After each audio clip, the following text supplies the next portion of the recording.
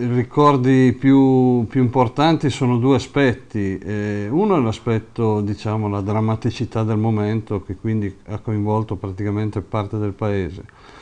E l'altro invece è stato quel, quel recupero di eh, solidarietà che il paese ha avuto in, in, quei, in, quei, momenti dove si è visto praticamente una,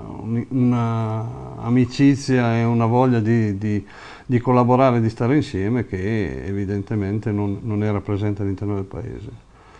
Il, eh, si era partiti, mi ricordo, dal sabato notte quando la Dora aveva iniziato a uscire in campagna, soprattutto nella campagna della frazione di Torille che era interessata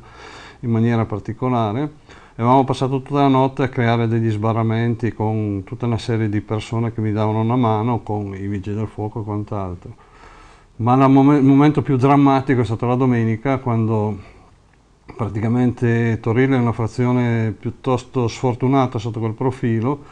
quando la Dora a monte ha sfondato gli argini ed è entrata l'acqua praticamente in tutta la frazione. E in quel momento, eh, anche per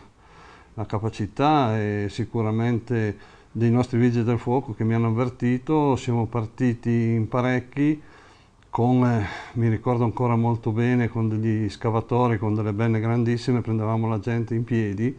all'interno della frazione perché l'acqua ormai aveva invaso tutte le case e li portavamo a bordo dell'autostrada dove avevamo recuperato il pullman della scuola guida che a bordo dell'autostrada caricavamo le persone e le portavamo via. Ma il ricordo forse più drammatico è stato un momento in cui ci mancava una persona, l'abbiamo recuperata in un garage che era fermo, immobile, aveva l'acqua ormai a livello dell'addome e quindi era praticamente un anziano che era immobilizzato ed era spaventatissimo. In quel momento l'abbiamo recuperata, eravamo in 3-4 e quindi credo che mi suscita ancora a me in questo momento un'emozione fortissima. E poi ci mancava ancora una persona che era scappata su per i monti e che è uscita il giorno dopo praticamente. Questo è stato è stato forse, forse il momento più, più drammatico. Ho sentito in quei momenti un forte affetto dei miei cittadini e questo eh, mi ha reso sicuramente gratificato di tutti quegli sforzi che abbiamo fatto anche nei giorni seguenti eh, dove abbiamo organizzato praticamente tutta la, all'interno della micro quello che è stato l'organizzazione e il ricovero delle persone che erano state eh, erano state spostate da Torille, c'erano più di 150 persone dislocate sia all'interno della microcomunità ma anche all'interno di varie famiglie,